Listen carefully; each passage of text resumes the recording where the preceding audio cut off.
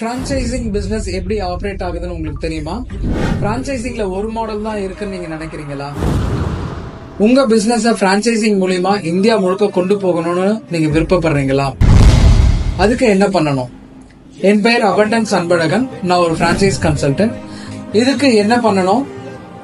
இதை பற்றியெல்லாம் நீங்கள் நீங்க தெரிஞ்சுக்கணும் அப்படின்னு விருப்பப்படுறீங்கன்னாக்கா வர இருபத்தி நாலாம் தேதி நம்ம வெபினார்ல நம்ம சந்திப்போம். இதை பத்தி மேலும் தெரிஞ்சுக்கிறதுக்கு கீழே இருக்கக்கூடிய லிங்க்ல நான் டீட்டெயில்ஸ் கொடுத்துருக்கேன். நீங்க காண்டாக்ட் பண்ணுங்க. நம்ம வெபினார்ல நம்ம சந்திக்கலாம்.